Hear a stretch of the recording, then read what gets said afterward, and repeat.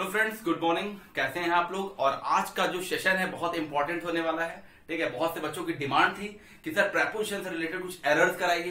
तो जैसा कि आप जानते हैं, जैसा कि आपने ऑलरेडी देख रखा है कि प्रेपोजिशन पर मैं काफ़ी वीडियोस बना चुका हूँ फिक्स्ड प्रेपोजिशन पे काफ़ी वीडियोस में बना चुका हूँ, ठीक है? तो बच्चों ने कहा, सर, कुछ एरर्स भी कराइए, इसकी प्रैक्टिस भी कराइए।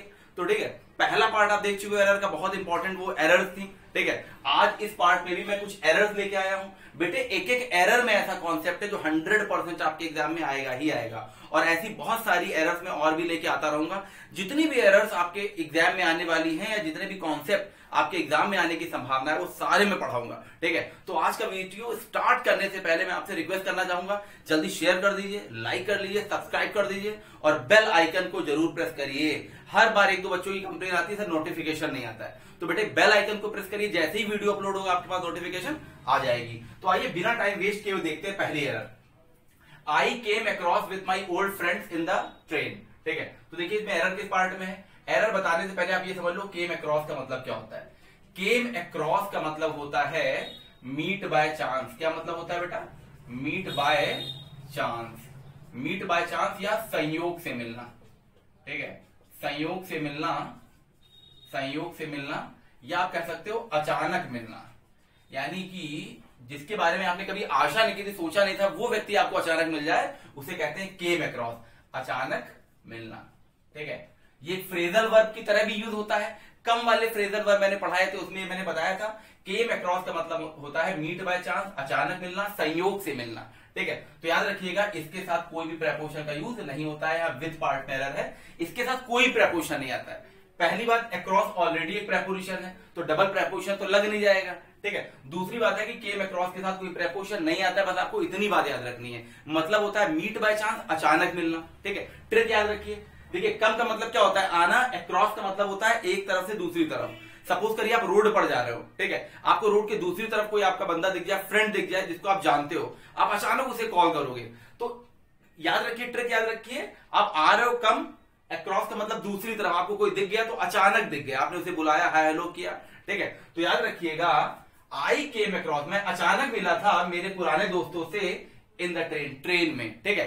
तो इसमें एरर जो है, वो विथ में है, इस पार्ट में एरर है, ये विथ इसके साथ नहीं लगेगा। केम अक्रॉस या कम अक्रॉस भी होता है, इसका पास फॉर्म केम अक्रॉस होता है। इसके साथ कोई प्रेपोजिशन का यूज़ नहीं होता है बस बेटा, इतनी चीज़ आपको याद रखनी है। ठीक है? तो हो जाएगा I came across my old friends in the train I came across my teacher yesterday ठीक है? Yesterday I came across Amitabh Bachchan यानी मैं अमिताभ बच्चन से अचानक मिला था।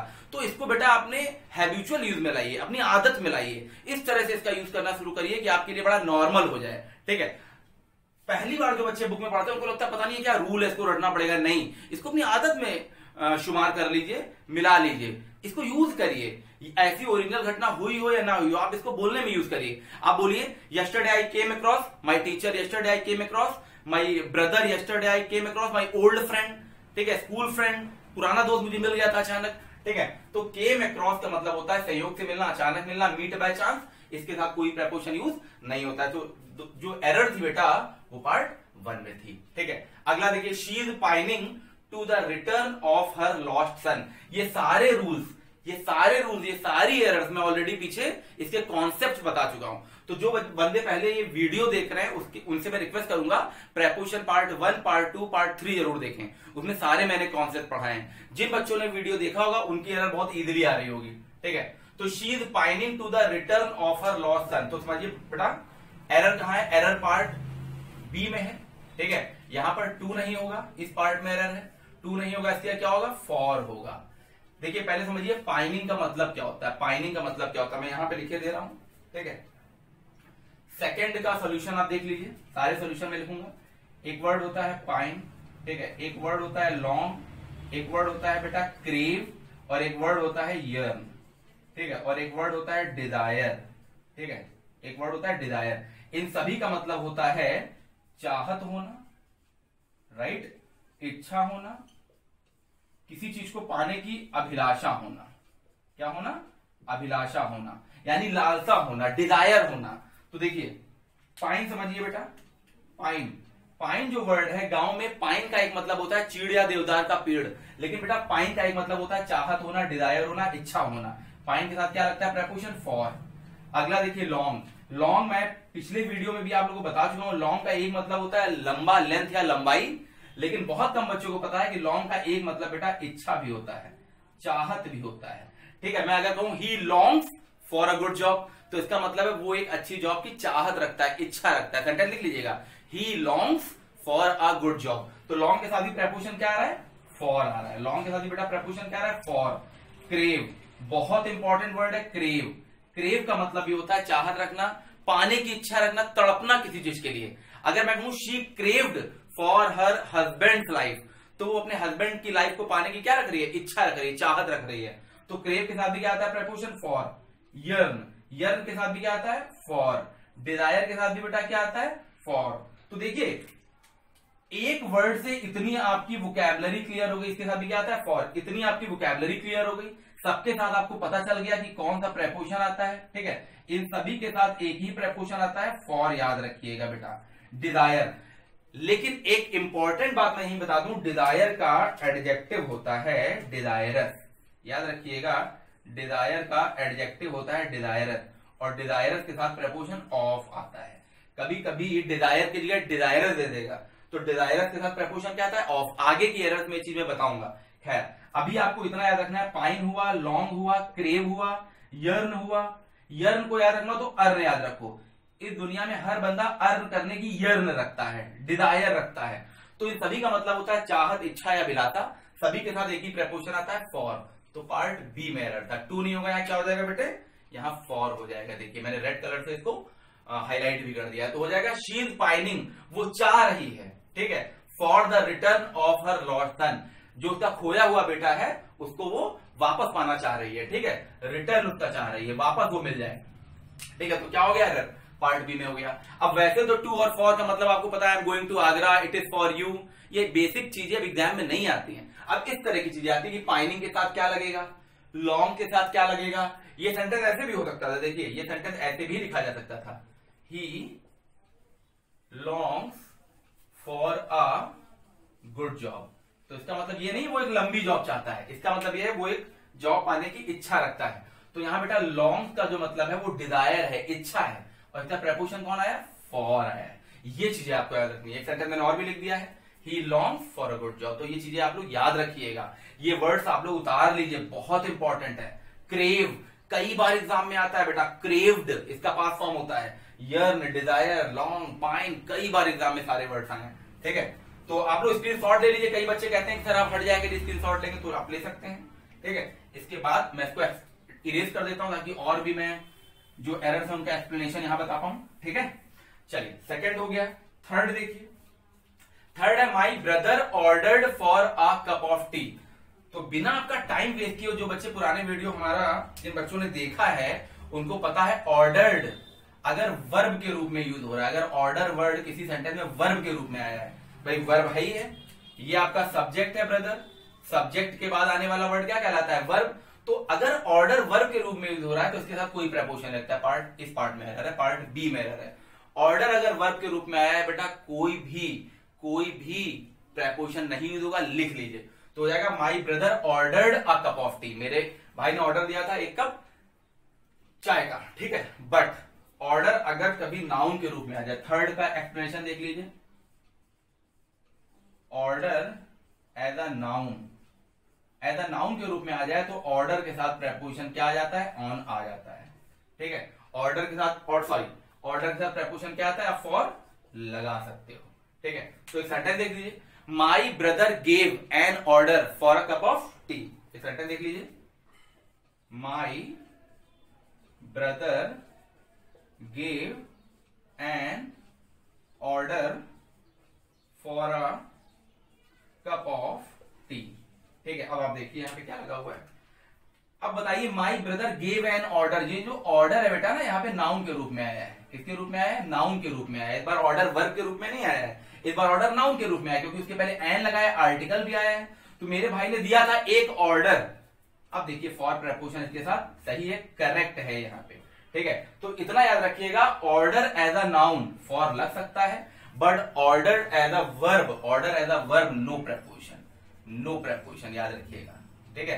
तो ये चीज़ें मैंने पिछले वीडियो में भी आप लोगों को बताई हैं। तो order as a verb no preposition order as a noun noun जब सेंटेंस में आता है ऑर्डर नाउन के रूप में आता है तो इसका प्रेपोजिशन फॉर सही है करेक्ट है बेटा। कि कितनी अच्छी बात है, कितना अच्छा नॉलेज है सेंटेंस में। अदरवाइज़ जो बच्चे तैयारी नहीं कर रहे हैं, उनको तो बिल्कुल ईजी लगेगा। उनको लगेगा ऑर्डर फॉर फॉर का मतलब के लिए वो हिंदी में ट्रांसलेट करके कहेंगे, ये तो सही है। बट बेटा नंबर आपको इस पर नहीं मिलेगा। एक नंबर आपका कट जाएगा। ग्रामर की यही खूबसूरती होती है इंग्लिश की यही खूबसूरती होती है कि जानो तो करेक्ट जानो। स्पीकिंग बोल के किसी को इंप्रेस मत करो। जितना जानो, ठोस जानो, जड़ से जानो। इंग्लिश बोल के इंप्रेस करने से कभी सिलेक्शन नहीं होता है। कम बोलो, लेकिन जितना बोलो अच्छा बोलो करेक्ट बोलो। सिलेक्शन आपके बहुत नज़दीक होगा। ठीक है? तो ये थर्ड का कॉन्सेप्ट हो गया। ठीक है, कि order as a noun for लगता है। अगला देखिए अगला देखिए, Vinay attacked on the boy तो याद रखिएगा, आपका मैं टाइम नहीं वेस्ट करना चाहूँगा। अटैक्ड अटैक्ड के साथ कोई प्रपोशन नहीं आता। अगर अटैक्ड किसी सेंटेंस का क्या है? अटैक अगर किसी सेंटेंस का वर्ब है। तो देखिए, विनय आपका सब्जेक्ट है। तो अटैक क्या है? वर्ब है। बट वही कॉन्सेप्ट इसमें भी आ जाएगा ठीक है? फोर्थ वाले का कॉन्सेप्ट देखिए। बेटा, अगर attack as a noun use हो रहा है एज अ नाउन यूज़ हो रहा है तो अटैक के साथ ऑन प्रेपोजिशन हम लगा सकते हैं। ठीक है? आप देख सकते हो, अगर मैं कहूँ the attack on the Taj Mahal the attack on the Taj Mahal एक सेंटेंस देखिए एग्ज़ाम्पल देख लीजिए। The attack on the Taj was bad लिख सकते हो कंडेम्ड लिख सकते हो, कुछ भी, बुरा था बहुत। तो अभी बताइए, अटैक इसमें वर्ब के रूप में यूज़ हो रहा है कि नाउन के रूप में यूज़ हो रहा है? तो बेटा आप देख सकते हो, इसमें जो अटैक आया है, वो सब्जेक्ट के रूप में आया है नाउन के रूप में आया है। और जैसे ही वो नाउन के रूप में आया, उसका प्रपोशन क्या आ गया? ऑन आ गया। इस बात का ध्यान रखिएगा, बहुत बहुत बहुत इंपॉर्टेंट है। तो द अटैक ऑन क्या हो जाएगा? द अटैक ऑन तो द आर्टिकल है। आर्टिकल नाउन के लिए आता है अटैक क्या है आपका? नाउन है। The attack on the Taj was bad इस बार अटैक वर्ब के रूप में यूज़ नहीं हुआ। बट अगर अटैक वर्ब के रूप में यूज़ होता है तो याद रखिएगा अटैक के साथ कोई प्रपोजिशन नहीं आएगा, ठीक है? लास्ट वाला देखिए फिफ्थ देखिए। मोहन विजिटेड टू मुंबई क्या लिखा हुआ है? मोहन विजिटेड टू मुंबई तो याद रखिएगा विजिटेड अगर वर्ब के रूप में है तो इसके साथ कोई प्रपोजिशन नहीं आता, हो जाएगा। मोहन विजिटेड मुंबई मोहन विजिटेड मुंबई याद रखिएगा इस चीज़ को। तो यहाँ भी एरर थी पार्ट बी में एरर थी टू नहीं लगेगा। बट वही चीज़ इसमें भी आ जाएगी। देखिए, कितनी खूबसूरत और कितनी अच्छी एरर्स हैं। सेम चीज़ यहाँ पर आ जाएगी। देख सकते हैं आप लोग। सेम चीज़ यहाँ पर आ जाएगी। फिफ्थ नंबर में देखिए विज़िट वर्ब के रूप में होता है। अगर अगर बेटा विज़िट वर्ब के रूप में है तो नो प्रपोजिशन रूल लिख लीजिएगा। नो प्रेपोजिशन ठीक है? बट अगर विज़िट नाउन के रूप में आया है, ठीक है? तो याद रखिएगा विज़िट नाउन के रूप में आया तो आप टू का यूज़ कर सकते हैं प्रपोजिशन का यूज़ कर सकते हैं, ठीक है? अगर मैं एक सेंटेंस लिखूं your visit to Mumbai was amazing आपकी जो विज़िट थी मुंबई की, वो बड़ी अमेजिंग थी, अद्भुत थी, अच्छी थी। तो याद रखिए, यहाँ पर जो विज़िट आया है, वो नाउन के रूप में आया है।